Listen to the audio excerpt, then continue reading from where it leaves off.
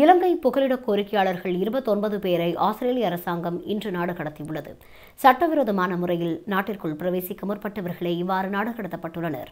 விசேட விமானம் மூலம் இன்று காலை இலங்கைக்கு அனுப்பி வைக்கப்பட்ட இவர்கள் விசாரணைக்காக குடிவரவு குடியகல்வு திணைக்களத்தில் ஒப்படைக்கப்பட்டுள்ளனர்.